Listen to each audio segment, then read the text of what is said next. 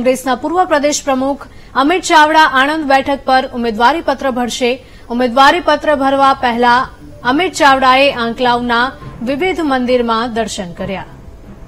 ત્યારે સુંદર ગામમાં રામદેવપીર મંદિરમાં અમિત ચાવડાએ દર્શન કર્યા હતા. પાંચ મંદિરોના દર્શન કરી આણંદ ખાતે ઉમેદવારી પત્ર ભરશે અમિત ચાવડા. ઉમેદવારી પત્ર ભરવા પહેલા અમિત ચાવડાએ નિવેદન આપ્યું હતું કે તમામ દેવસ્થાન અને સંતોના આશીર્વાદ સાથે ઉમેદવારી ફોર્મ ભરવા જઈ રહ્યો છું.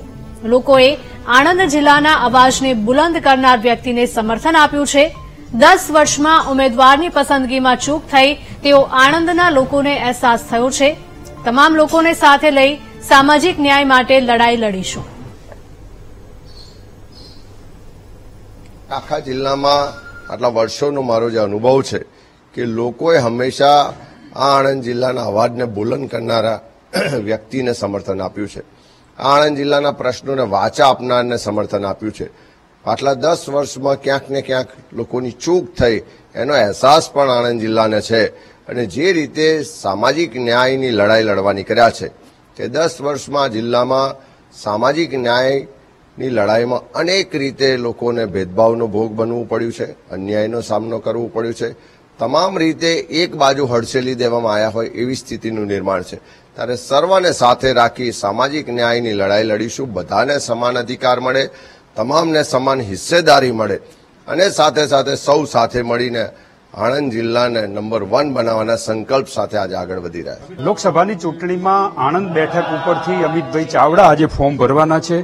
કોંગ્રેસમાંથી ઉમેદવારી કરવાના છે અને સવારથી જ વિવિધ મંદિરોમાં દર્શન કરી ભગવાનના આશીર્વાદ લઈને આજે ફોર્મ ભરવા માટે જવાના છે. અત્યારે સુંદણ ખાતે રેવનદાસ મહારાજની ગુરુ ગાદી છે, ત્યાં પહોંચ્યા છે અને અત્યારે એમનું જે સ્વાગત કરવામાં આવી રહ્યું છે, કુમકુમ તિલક કરીને સ્વાગત કર્યું છે. અમિતભાઈ સાથે વાત કરો. અમિતભાઈ, આજે ફોર્મ ભરવા જઈ રહ્યા છો. વિવિધ મંદિરોમાં સવારથી દર્શન કરી રહ્યા છો. ખૂબ નાની ઉંમરે સત્યાવીસ વર્ષે જાહેર જીવન આ જિલ્લામાં યુવક કોંગ્રેસના પ્રમુખથી બે હજારથી શરૂઆત કર્યું હતું. સત્યાવીસ વર્ષે પહેલી વખત ધારાસભ્ય બનવાની તક મળી અને સતત પાંચ વખત ધારાસભ્ય તરીકે પ્રદેશ કોંગ્રેસ સમિતિના પ્રમુખ તરીકે, આજે વિધાનસભા વિરોધ પક્ષના નેતા તરીકે, આખી રાજકીય સફરમાં જિલ્લાના તમામ જાતિ ધર્મના સર્વ વર્ગના લોકોએ ખૂબ લાગણી, પ્રેમ ટેકોને આશીર્વાદ આપ્યા છે. આજે પક્ષે એક નવી જવાબદારી સ્વરૂપે આણંદ લોકસભા બેઠક પરથી કોંગ્રેસ પક્ષના ઉમેદવાર તરીકેની જવાબદારી સોંપી છે. આજે તમામ દેવસ્થાનો, સંત મહંતોના આશીર્વાદ સાથે, સૌના આશીર્વાદ સાથે ઉમેદવારી ફોર્મ ભરવા જઈ રહ્યા છે. ત્યારે આખા જિલ્લામાં આટલા વર્ષોનો મારો જે અનુભવ છે કે લોકોએ હંમેશા આ આણંદ જિલ્લાના અવાજને બુલંદ કરનારા વ્યક્તિને સમર્થન આપ્યું છે. આ આણંદ જિલ્લાના પ્રશ્નોને વાચા આપનારને સમર્થન આપ્યું છે. આટલા દસ વર્ષમાં ક્યાંક ને ક્યાંક લોકોની ચૂક થઈ, એનો અહેસાસ પણ આણંદ જિલ્લાને છે. અને જે રીતે સામાજિક ન્યાયની લડાઈ લડવાની કર્યા છે, તે દસ વર્ષમાં જિલ્લામાં સામાજિક ન્યાયની લડાઈમાં અનેક રીતે લોકોને ભેદભાવનો ભોગ બનવું પડ્યું છે, અન્યાયનો સામનો કરવો પડ્યો છે.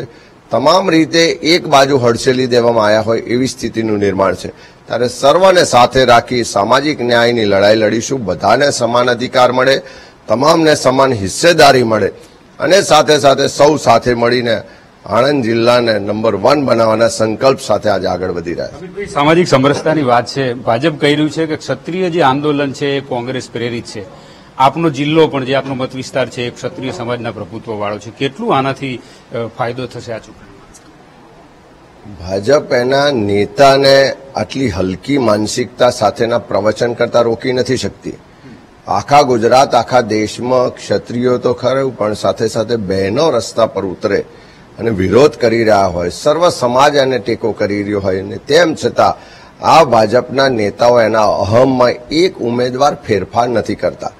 એમણે ફેરફાર તો વડોદરામાં પણ કર્યા, સાબરકાંઠામાં પણ કર્યા નાના નાના વિરોધથી ફેરફાર કર્યા.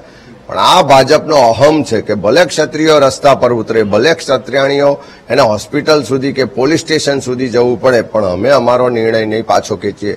આ જે સત્તાનો મદ છે, અહમ છે, આવનારા સમયમાં ચકનાચૂર થવાનો છે, નહીં ખાલી ક્ષત્રિય સમાજ, પણ સર્વ સમાજો સાથે મળીને આવા અહંકારી શાસકો અને હલકી માનસિકતા વાળા ભારતીય જનતા પાર્ટીના નેતાઓ જે ક્ષત્રિય સમાજની બહેન દીકરીઓ માટે એકદમ નિમ્ન કક્ષાના કહી શકાય એવા શબ્દો વાપરે એને આવનારી સાત તારીખે આ ગુજરાત અને દેશની જનતા મતરૂપી જવાબ આપશે.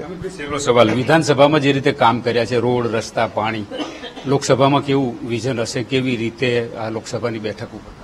ટૂંક સમયમાં આણંદ જિલ્લા માટે અમે વિઝન ડોક્યુમેન્ટ પણ જાહેર કરીશું. અમારો જે સંકલ્પ છે પણ રજૂ કરીશું. ખાસ કરીને આણંદ જિલ્લામાં જે પણ વિકાસના કામ આજ દિન સુધી થયા જેટલી સંસ્થાઓ સ્થપાઈ એ તમામ કોંગ્રેસની દેન છે. અમૂલ ડેરી કોંગ્રેસે બનાવી, ખેડા જિલ્લા બેંક કોંગ્રેસે બનાવી, આણંદ એગ્રીકલ્ચર યુનિવર્સિટી હોય કે સરદાર પટેલ યુનિવર્સિટી હોય કે કરમસદની મેડિકલ હોસ્પિટલ હોય, કે દુવારાનું પાવર સ્ટેશન હોય કે મહી કડાનાનો ડેમ હોય, એનડીડીબી હોય કે ઇરમા હોય, આ તમામ સંસ્થાઓ કોંગ્રેસે બનાવી આણંદ જિલ્લાની તમામ નહેરો, તમામ બ્રિજીસ તમામ સરકારી શાળા, કોલેજો, તમામ બીજા જિલ્લાઓને જોડતા મોટા રસ્તાઓ આ તમામ કોંગ્રેસના શાસનની દેન છે. ત્યારે આવનારા દિવસોમાં પણ જિલ્લાને સિવિલ હોસ્પિટલની તાતી જરૂરિયાત છે. હજુ પણ અનેક તાલુકા ત્રીસ વર્ષના ભાજપના શાસનને દસ વર્ષથી ડબલ એન્જિનની સરકાર છે. તેમ છતાં તાલુકામાં જીઆઈડીસી નથી. યુવાનો સ્થાનિક રોજગારથી વંચિત છે. દરેક તાલુકામાં જે હાયર એજ્યુકેશન માટેની સરકારી કોલેજો હોવી જોઈએ. એની કમી છે. આ બધા જ અહીંયાના ખેડૂતોને એના જે ઉત્પાદન છે, એનું ફોરવર્ડ ઇન્ટિગ્રેશન થાય ફૂડ મેગા ફૂડ પાર્ક જેવા મોટા પ્રોજેક્ટ્સ આવે, જેનાથી રોજગાર પણ મળે, ખેડૂતોની પણ આર્થિક ઉન્નતિ થાય. આ તમામ વિષયોને લઈને આવનારા સમયમાં અમારા જે સંકલ્પ છે, અમારું જે વિઝન છે, કે આણંદ જિલ્લો અને આખું ગુજરાત, કે જેનો અવાજ દિલ્હીમાં બુલંદ થાય.